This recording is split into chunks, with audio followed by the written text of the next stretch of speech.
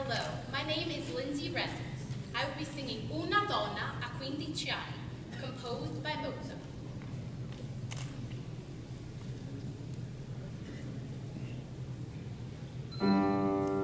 Una donna quindiciani di sapere